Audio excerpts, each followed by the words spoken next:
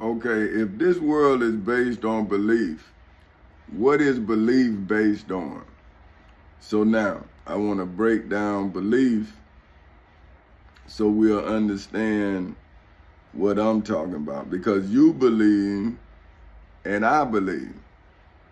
It says a state or habit of mind in which trust or confidence is placed in some person or thing. So if you be, uh, base your belief on religion, that's a thing. And I base my belief on me. See, I'm a person. Now, you say, but I'm saying, well, how can religion be a person? You see what I'm saying? It's it's a it's a well let, let's look up what religion. See, because see, I'm learning about your Lord and Savior after I prove that I'm my Lord and Savior. And that's what I think the disconnect is. See, it's a personal set or or institutionalized system of religious at, at, uh, attitudes, beliefs, and practices. See, so you practice your understanding, your mental grasp of life itself, right? So, but me, I have always lived my life in accordance with what I wanted to do in life, right? So I wanted the Corvette. I set my life up to get the Corvette, right? But I got married first, so I had to to to set my life up where my selfish goals as as a man would not make my family suffer as a husband and a father. So that's why what I'm doing now is giving you the formula that I created. You see what I'm saying? Now, people say, I think I know everything. But I'm saying, I'm talking about myself. So if I don't know everything about me, what do what would I know everything about? See, I I don't know everything but I have the ability to learn anything. You see what I'm saying? So when I'm around something that I don't know, I learn because I know I don't know. And if I'm in a situation that has taught me something, then why wouldn't I learn what it taught me? You see what I'm saying? So that's why I'm saying to you all now, I'm saying, well, listen, I'm reading your mind as I read your scriptures because this is what you're supposed to base your personal principles on, right? So I'm saying, well, you and I are no different. The only difference is you read scripture and I write it, right? My my motion is something that I wrote. See, so if Saul changed his name to Paul and he wrote the scriptures that you go by, see, you have to believe him about somebody else and he telling you he never met Jesus. He met him in a cloud. So you got to believe all of that, right? But what I'm telling you, you can go and investigate for yourself and then you going to become wiser on how and why and what to do if. See what I'm saying? See, it's, it's all inclusive. You see what I'm saying? Both sides are present. So how would you know that the truth, now let's look up that, truth which I already know. Uh, it's, it's the body of real things, events, and facts, right? How do you know that the truth is the truth if the lie isn't present? Now, let's go lie. Now you got to get down to that. Okay, a untrue or inaccurate statement that may or may not be believed true by the speaker or writer. See what I'm saying? So that wouldn't that be the scripture? See, wouldn't that be Saul? See, you don't know, but you're quoting what Saul said, even though the Bible say he changed his name to Paul. Now, why would you have to change your identity if you're telling the truth? Only criminals have aliases. See, like Dr. Martin Luther King, that's his name. Mr. Fred Hampton, that's his name. Mr. Uh, Huey P. Newton, that's his name. Mr. Mega Evers, that Me Medgar Wiley Evers, that's his name. See, these are heroes that paid the ultimate price, and they are part of the historical uh, picture of the pain that someone else's family felt. See, that's why I couldn't act like my pain was my pain because I knew about those who came before me. And this is what I'm saying, like, how can tomorrow benefit from yesterday if today don't do a better than they were did yesterday? See, the only way that tomorrow is going to benefit is somebody keeps the righteous course. See, we like okay, just think about this. Uh, Moses formed the Exodus, right? And that Exodus led into war because in the Middle East, that's where the Israelites at. So look, they left out of Egypt and entered into war. So when were they ever delivered from chaos? You got to think to see. See what I'm saying? Because a lie is a statement. See, look, an, an untrue or inaccurate statement. See, that's a lie. It's a statement. Now let's, that's one, an assertion of something known or believed by the speaker or writer to be untrue with intent to deceive. See, see what I'm saying? So in that instance, the speaker know they lying. See, see what I'm saying? So that would be Saul himself, the one that keeps saying that Jesus told him to change his name to Paul. See what I'm saying? All of these things you got to believe.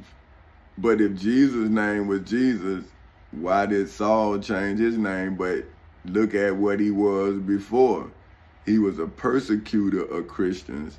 Now he's a leader of Christians. How did that happen?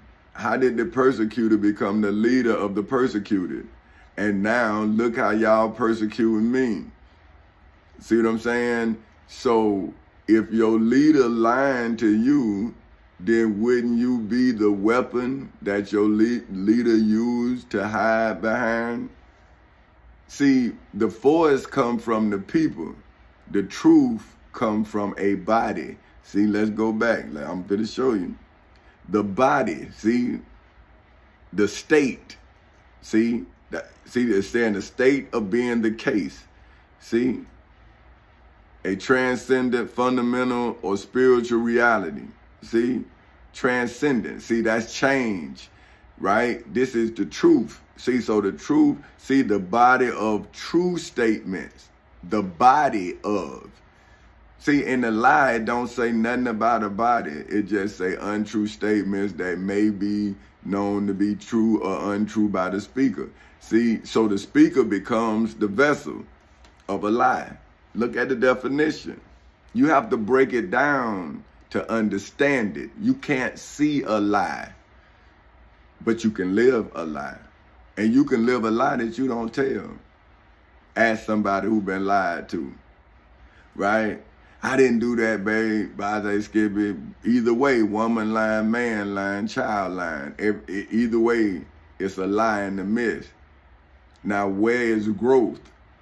Right? Say if the child line get away with it. Now the child believe that lying is the way to go. Now the parent might see the child lying and be like, oh, they'll know better. But how do they know better if you don't teach them better? See, so in the midst of that, right, the lie has to be destroyed. Now you don't destroy the liar because that liar you love. But you have to destroy the lie so the liar will become afraid of lying. See, so that's why the truth is a double-edged sword. It, it, it corrects as it reveals. And that's why it's so beautifully dangerous. you see what I'm saying? Because you have to expose and then inspire all at the same time. Right? You got to put out a fire and then start a fire all at the same time because the lie has sapped the energy away from the body. Think about it. So if you lie to a person, that person is living in a state of disbelief that they believe because they don't know you lied to them. So see, you put them in a state of mind that's not real. You see what I'm saying? See, that's why, like, I never lied to my lady, period, at all. First time I met her to now. So that way, when she go back, she'll see that everything I said came to pass. You see what I'm saying? And that's why I was telling the devil or the serpent or whomever you see spiritually or read about spiritually that he wasn't going to beat me because of the work I had already put in before I saw him. See, I had defeated my internal devil when I was 18 and had a conversation with my internal devil like I'm having a conversation with your internal devil. And I'm trying to get you to see what you need to do to defeat yourself. Because anger is internal. See, you think it's external, but it's not. Because the fool that's that's angry is the one that lost consciousness. Now, if you let an unconscious fool make you lose consciousness, then were you ever conscious? And that's when I realized when I was 18 and I had lost consciousness that I realized that I wasn't being myself. I was being like my father.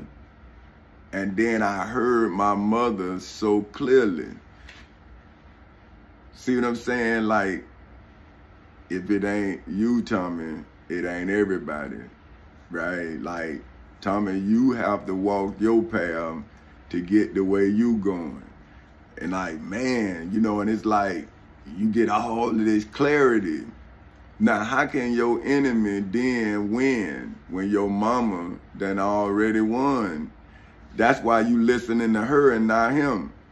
See what I'm saying? Like, but that's why I tell people, I wrote in my book when I became enlightened to my mother's words because I guess like when y'all pray, I listen. You see what I'm saying? Like when I'm looking for something, I can hear what I heard. See, but if you looking for something that you read about, how can you recall it if nothing, if you only read about it, you never seen it?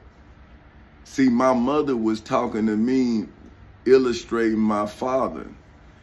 We was watching the movie together. See, that what I'm saying? Like, just like you watch me or my children watch me, well, my mother watched, we watched my daddy. And she would narrate the scene just like I'm doing.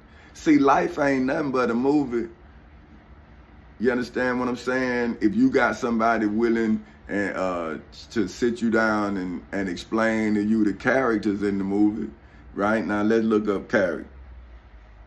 See, and, and this is what I'm saying is is this is all relative to who we want to become, not who we are. And that's the beautiful thing about this, right? Is that it's not about what we used to be, it's about what we're going to become. Character, one of the attributes or features that make up and distinguish an individual. So, if I was denied of myself, why would I deny myself of myself? See, it's 15 minutes, so I'm going to stop it.